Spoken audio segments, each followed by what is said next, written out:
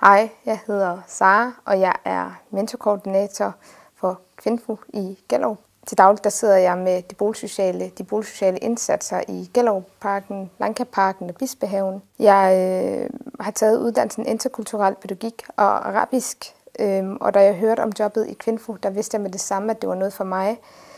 Øh, jeg er selv vokset op øh, med en masse udfordringer i forhold til, hvordan man kommer ud på arbejdsmarkedet.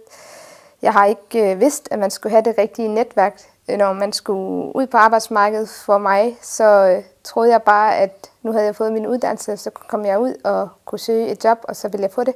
Jeg fandt så ud af, at det var langt sværere. Øhm, og her der mødte jeg så en, en øh, kvinde, som for mig blev en form for mentor, som fortalte mig, at det var rigtig, rigtig øh, godt øhm, og, og ligesom at have et netværk, som man netop skulle pleje. Så hun gik ligesom i gang med at hjælpe mig med at finde det rigtige netværk. Øhm, og efter at jeg havde fået det her netværk, så fik jeg også tre jobs lige efter hinanden. Det var så her, jeg lærte, at, at netværk var altafgørende. Da jeg så læste øh, jobopslaget, jobopslaget hos Kvinfo, tænkte jeg med det samme, det her det vil jeg rigtig gerne, fordi jeg vil rigtig gerne hjælpe de her kvinder, som også har stået med nogenlunde de samme udfordringer, som jeg også stod i dengang.